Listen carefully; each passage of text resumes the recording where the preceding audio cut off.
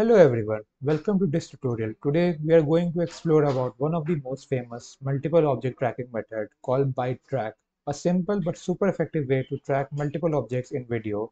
When ByteTrack was first introduced, it quickly became famous because it solved a big problem that other trackers struggle with, missing objects when they were hard to see or got blocked by something else.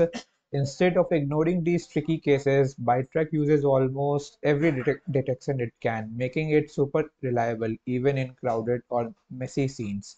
So, before going into its implementation, we go through its research paper and learn how it works. Let's get started.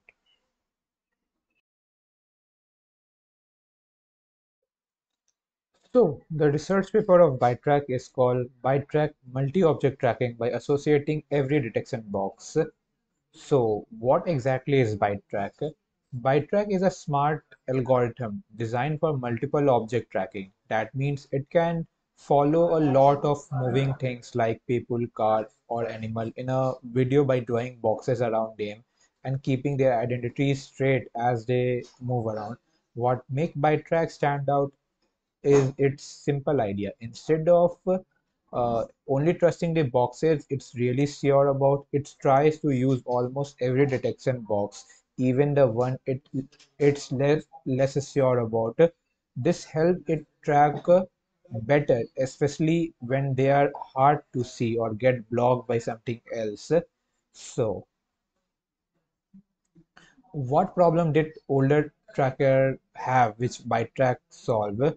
Now let's talk about the problem older tracking method faced by uh, previously. First, most old tracker would only keep boxes if the computer was very confident that they were real. If the computer wasn't sure, maybe uh, because the box objects was hidden or blurry, it would just throw these boxes away. This means that a real object could be missed, especially when they were occluded or not easy to see. Occlusion means when an object overlaps another object. So one object is unable to see uh, uh, during viewer's point of view. So it also causes problem like losing track of object when they are disappeared for a moment and then giving them a new ID when they come back, making it hard to follow the same object through the whole video. So, how does ByteTrack fix this? ByteTrack fix this issue by clever uh, two-step process. First, it matches all the high confidence boxes to existing track. This is similar to what old trackers did. Then it takes the boxes with lower confidence and tries to match them too. This is the key difference. By not throwing away this, these boxes, ByteTrack can recover objects that were hidden or hard to see for a moment. It uses a prediction tool called Kalman filter to guess where each object should be. Maybe it even better at keeping track of them if they disappear for a few frames. Eh? So What's new and special about ByteTrack is the big innovation. ByteTrack uh, doesn't waste any potential useful information. By using both high or low confidence detection, it can track object more reliably, especially in crowded or tricky scenes. This uh, approach is simple, but it works so well that it's now considered state of the art. In fact, ByteTrack has ranked first among several major tracking benchmarks, beating out older or more complicated method. But with uh, with newer technique, there are some limitation. It can still struggle with small objects or in extremely crowded scene where lots of things overlap. One limitation is that it uses fixed threshold to decide what's high or low confidence. This number might need to be adjusted for different video or situation, which can be bit tricky. And it's mainly designed for tracking one type of object at a time, not multiple types together. But overall, uh, ByteTrack has some major benefits. It's super accurate, running at real time speed, even on a big video. It makes uh, far fewer mistakes, like losing track of object or make, mixing up the their identities. It's simple to use and can be added to other tracking uh, system to make them better. And it works really well in real world scenario like security camera, self-driving car. Let's see some example. As you can see, these are the example in which occlusion happens and and due to ByteTrack algorithm, its ID remains same. As you can see, the uh, yellow triangle is going and then it got occluded, but it still do not lose its lose its ID you using ByteTrack tracking.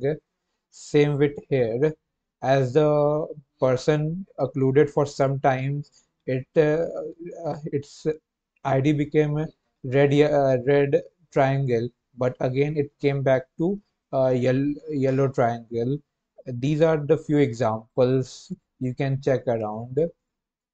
So that ByteTrack is a simple but powerful way to track a lot of moving objects in video using every bit of information it can get. If you are interested in computer vision, this is the uh, tracking algorithm you should check out. Let's get to its implementation.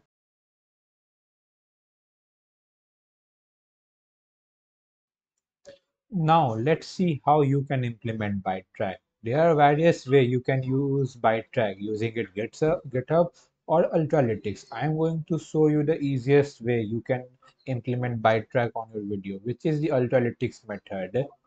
In this method, you will have an object detection algorithm, which is YOLO, and the ByteTrack algorithm together in one place. So you don't need to uh, install any other uh, requirements for that. First, we need to install some uh, libraries, which is Ultralytics and OpenCV. Then in our next step, I'm going to create a helper function, which help me show you some video on which I'm going to perform uh, uh, object tracking on. So let's run this function. Now, this is the main function which you need to create to perform ByteTrack tracking. First, we need a model, which is here YOLO 8x model. ByteTrack can run on uh, all YOLO model. So you can choose any model you like. Then you need to create a function in which you will use the models track method. In that in that argument you have to provide with a video part and the bytetrack.yml name. This is the Ultralytics built-in ByteTrack configuration. And then you just have to loop it through every frame and print out the every object id it detect and see what happened. Let's run this. Now this is a sample video which we are going to use by track on. This video is pretty much a simple video of two people jogging. There are no occlusion or anything else. The video is simple and very clear. So there will be no problem in uh, tracking. Let's perform ByteTrack.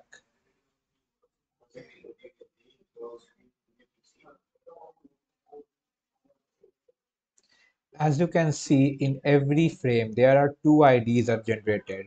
There are two objects so there are two IDs are generated. If there are more objects more IDs will be generated. And the the tracking algorithm duty is to keep this ID uh, in check so that if tracking tracker ID 1 is representing this object so tracker ID in next frame should also represent this function. And this will happen throughout the video so the if that happened tracking algorithm is successfully implemented. If not tracking algorithm is failed to track the object. As you can see throughout the uh, frame both tracker id remain constantly on the same object which is between this box. As you can see every tracker id is nearly uh, start with uh, 5 4 which is representing the this uh, object in the video and it's performing good Now let's create another function. This is the function I have created using our previous byte track function. In this function, I have added some more features like now the video will be annotated and saved in our local file system. As you can see, this part will drop bounding boxes around the uh, around the uh, object which has with same ID and this will save video in our local file system so let's run this function now.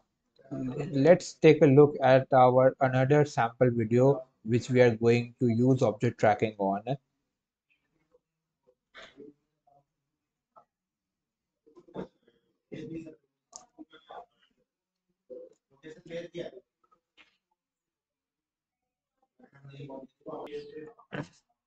This is the video we are going to use object tracking on. This is a complex video of some players playing footballs. It has lots of occlusion, small objects and large object and uh, an object which pattern you can't generally predict. So let's see how ByteTrack perform.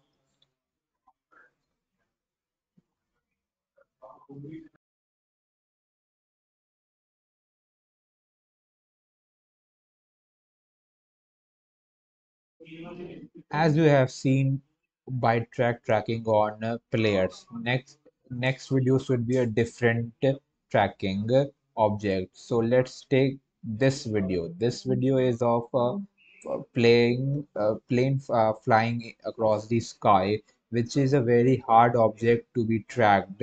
Like there are various small uh, objects and uh, you can't see which object is going which direction Let's see how ByteTrack perform in this kind of situation.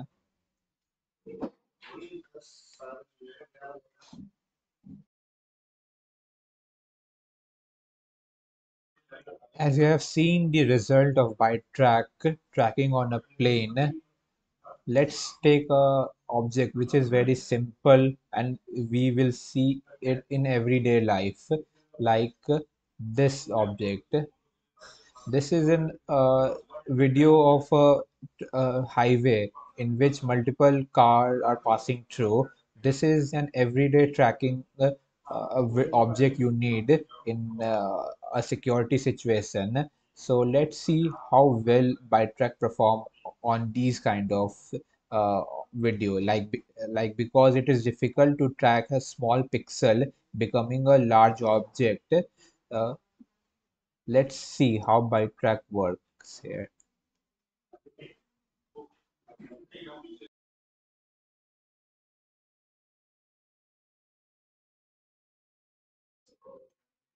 As we have seen how ByteTrack works in different scenarios, now you can implement ByteTrack on your own. With this, our tutorial on ByteTrack implementation is over. To read about more on ByteTrack, you can check our website in which we have written a blog on how to implement ByteTrack for multi-object tracking, in which we have explained it more in detail how you can implement ByteTrack using both methods, Ultralytics and GitHub. Please check it out.